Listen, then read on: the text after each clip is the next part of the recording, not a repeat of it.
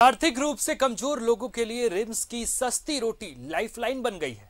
इस केंद्र में काम करने वाली पाँच महिलाएँ रोज़ाना 500 लोगों को पेट भर रही है। यहाँ मात्र दस रुपए में रोटी सब्ज़ी मिलती है। अंतर्राष्ट्रीय महिला दिवस पर हम ये जानेंगे कि उन पाँच महिलाओं का हाल क्या है, जो लगातार काम कर रही है। देखिए इस रिपोर्ट में।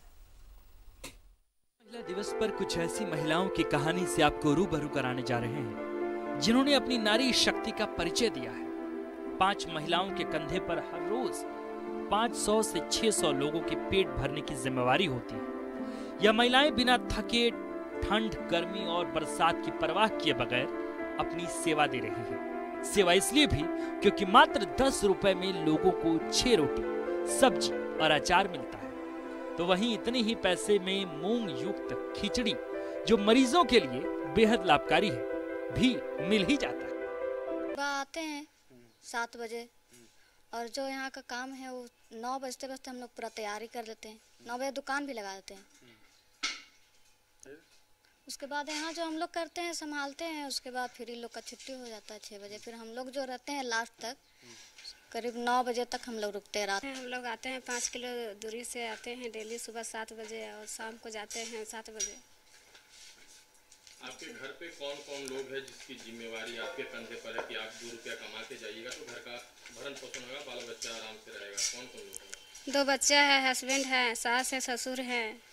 सब है ना मेरे घर में। रिम्स में अन्नपूर्णा भोजन सेवा चैरिटेबल ट्रस्ट के द्वारा पिछले 11 सालों से मरीजों को भोजन मुहैया कराया जा रहा है। सुबह 9 बजे से खुलने वाला यह केंद्र रात के 8 बजे तक चलता है जहाँ अस्पताल के करीब 600 मरीज़ और उनके परिजन भोजन के लिए पहुँचते हैं। यह केंद्र लोगों की भूख मिटाने वाला एक बड़ा केंद्र है, क्योंकि दस रुपए में उन्हें एक वक्त का खाना आसानी से मिल जाता है। पच्चीस चार से कर रहे हैं काम 2011 से। यही रोटी सब्ज़ी खिचड़ी बेचते हैं। दस का छः रोटी सब्ज़ी यहाँ चार मिलता है। दस का मूंग दाल के खिचड़ी मिलता है, दस का पानी बोतल मिलता है। राहत मिलता है, जो, जिसको नहीं है वहाँ पर, यहाँ पर मिलता ही है खाने के लिए। देते हैं कबो को मुफ़्त खिलाते हैं। मुफ्तो खिलाते हैं।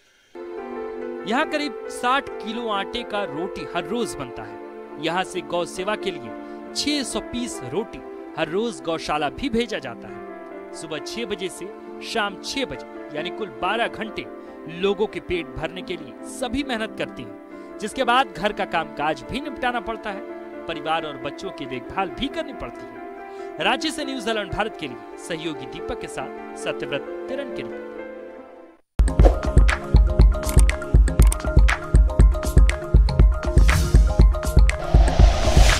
Like and share videos, subscribe करें हमारा चैनल और प्रेस करें बेल आइकॉन न्यूज़ 11 भारत सच है तो दिखेगा।